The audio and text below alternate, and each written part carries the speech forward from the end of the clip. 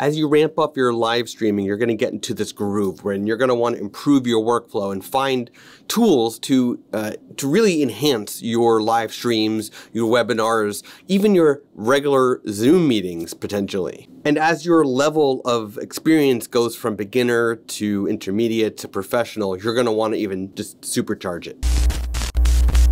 If you are an Ecamm Live user and you are inside of the Ecamm Live community, you probably, more than likely, have heard of the Stream Deck. This is a device made by Elgato, who also makes fantastic lights. They also make some uh, HDMI capture cards. They also make a great microphone and just a lot of cool products. But you don't hear many people talk about the Loupedeck Live, and that's what I want to talk about today. Now I've already got a video about the Loupedeck Live. You can click on the card right there and access that video at any time. It is my initial review of the product. Please remember as we go through this that I am also a photographer, so that's why I leaned more towards the Loupedeck, which you'll learn about now. So the Loupedeck is just like the Stream Deck. It is actually about the same size. It might actually be a little bit thinner. It comes with a stand. It has these digital screen buttons, but what it has, which the Stream Deck does not have, is tactile buttons and knobs. Physical buttons and knobs which can also be customized. The Loupedeck Live gets plugged in via USB-C. It comes with a USB a adapter so that you can also plug it into a regular USB port if you don't have USB-C. But because it's USB-C, which also means it gets USB 3.0 speeds, the data transfer rate is basically instant. From the time you push a button, things change. Things happen. So as I said, you've got these tactile buttons in addition to the screen buttons, which can be customized, which really opens the doors for what you can do and actually can potentially make things more natural like turning up the volume. So there are multiple versions of the Loupedeck. The one I'm talking about is the Loupedeck Live. This is the more compact version of the product, but there is also the Loupedeck Plus, which is not intended for live streaming. And then there is the Loupedeck CT, which is sort of a combination of the Plus and the Live. And if you have that in your budget, that's what I would actually recommend but it's close to 600 US dollars. So the Loupedeck Live comes with built-in profiles for different applications. Like if you're on a Mac OS, you've got a Mac OS profile, you've got a Safari profile. If you have Chrome, there's a Chrome profile. If you use Firefox, there's a Firefox profile. But there's also profiles for software like Final Cut Pro and Lightroom and Photoshop and Premiere Pro and ScreenFlow, and the list goes on. There are a lot of custom profiles, including a custom profile for Ecamm Live. And that's what we're talking about in this video. So great, there's already a profile. Hop to it. Oh, I'm just kidding. So I did customize the Ecamm Live profile that they give you, but I figure that they built this profile with workflow in mind. And it's very, so it's very optimized. So I didn't want to modify it too much. I kept it very basic, very similar to what it was out of the box, so to speak, when I first downloaded and imported the profile. But I did customize it, which we'll get to in a little bit. One of the nice things about the Loupedeck Live is you could also customize the brightness of it. So if you find that once your set is set up and the lights are in place and whatnot, if you find the Loupedeck Live's screen to be too distracting, you can dim it so that it's not as bright, or you can brighten it if it's not bright enough for you. You could also use it stand so it's on an angle facing you, or you could leave it flat on your desk so it's more out of the way. But keep in mind, it's about the size of a trackpad, so it's pretty small it's, it's a pretty small device, and it's powered by its USB-C cable, so there's no additional plugs. Now I mentioned that there are tactile buttons in addition to the digital screen buttons, but it is worth noting that Loupedeck built in vibration. So when you push a digital screen button, there is that sort of tactile feel because it vibrates on your finger, so you know the button was pushed.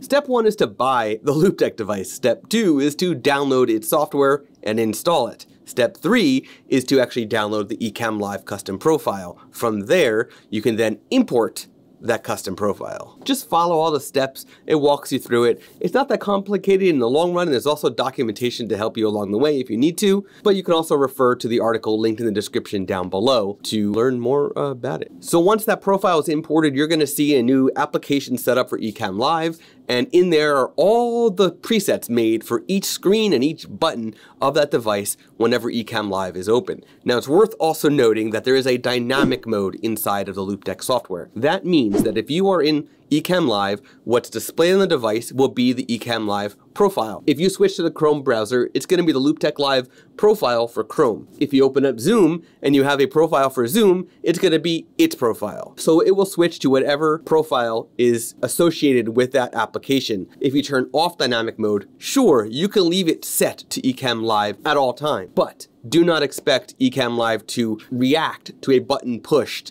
when you're not inside of Ecamm Live. Hopefully Loupedeck can actually make that work in the future. That would be amazing. But until then, it's not gonna work. You'll need to actually be in Ecamm Live for those buttons to do something. So now that you have it all set up and you wanna go in and customize, you can go ahead and do that. You can do that very easily. It's literally drag and drop. Because the custom profile is set up, you can easily modify that with a couple clicks and that's it. What I put in on the scenes section of this custom profile is Basically, every scene that I use on a regular basis is set up with a name on the screen as buttons. So scene one is set up and that is my camera. It's my Nikon Z6 and that is going through a Cam Link 4K. Scene two is my second monitor and my camera in a circle at the top right. Scene three is my second screen without any camera. Then I go into the most common client I have, which is doing a regular webinar. And this webinar is actually done through Zoom, but the video is actually coming through Ecamm. Zoom is set up to use the Ecamm virtual camera,